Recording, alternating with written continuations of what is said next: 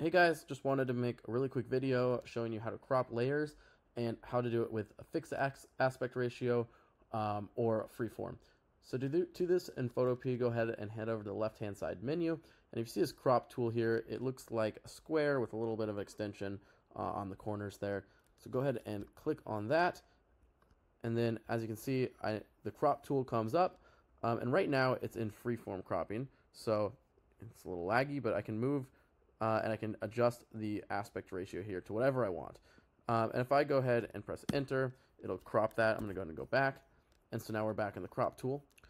Um, up in the top left hand corner, you can see it says free here. This means the aspect ratio is completely free. There's no fixed ratio. Um, so what you can do is you can set a, uh, a ratio that they have for presets. So for example, if you're doing like a YouTube thumbnail, you would want to do 16 by 9. And now if I move it you can I can only have it locked to that ratio of length to width.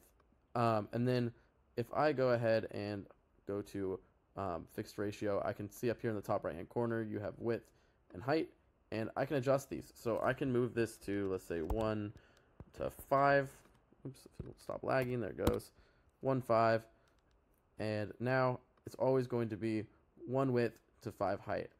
Uh, so that's how you set a fixed as aspect ratio. Press enter to crop, and there you go. That's a little bit of an ugly crop, but I hope this video helped. If it did, please leave a like, subscribe, and I'll see you next time.